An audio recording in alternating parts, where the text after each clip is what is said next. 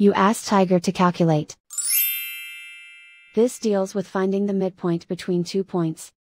The midpoint between the two points is 43.5, negative 57.5. Let's solve it step by step. Plot the two points and calculate the midpoint using the formula. The coordinates of point 1 are, x1 equals negative 2, y1 equals negative 67. The coordinates of point 2 are, x2 equals 89, y2 equals negative 48. PM represents the midpoint of the two points.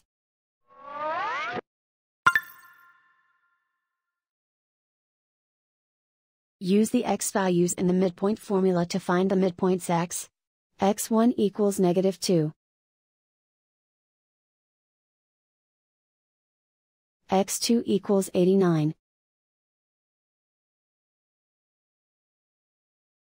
Simplify the arithmetic.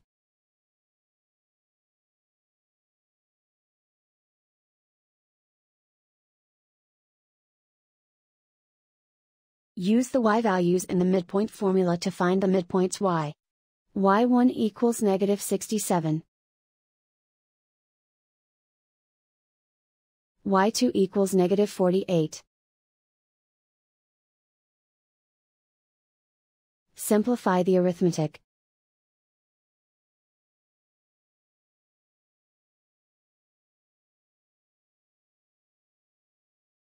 And so, the midpoint is 43.5, negative 57.5.